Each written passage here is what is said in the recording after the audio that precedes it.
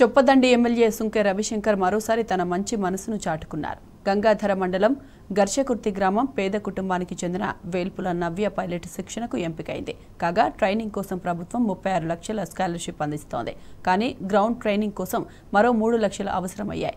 ఈ విషయం తెలుసుకున్న ఎమ్మెల్యే సుంకే మంత్రి కేటీఆర్ పుట్టినరోజు సందర్భంగా నవ్యను ఆమె కుటుంబ సభ్యులను పిలిపించుకుని ట్రైనింగ్ వివరాలను తెలుసుకున్నారు. పేదలకు సాయం చేయాలన్న కేటీఆర్ పిలుపు మేరకు నవ్యకు యాభై వేల రూపాయల ఆర్థిక సాయం అందించారు. దాతలు బీఆర్ఎస్ శ్రేణులు ముందుకొచ్చి నవ్య పైలట్ శిక్షణ కోసం మరింత సాయం చేయాలని పిలుపునిచ్చారు.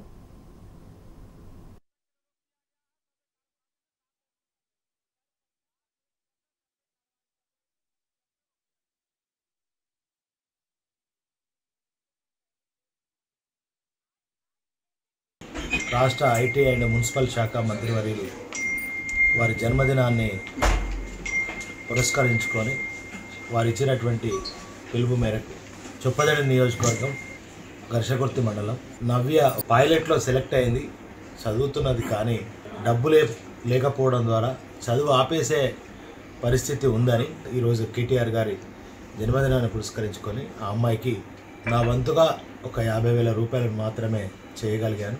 నవ్య భవిష్యత్తులో చదువుకోవడానికి కావలసినటువంటి అన్ని రకాల వనరులను సమకూర్చడంలో మేము ప్రభుత్వం కూడా ఆ అమ్మాయికి అండగా ఉంటుంది. ఒక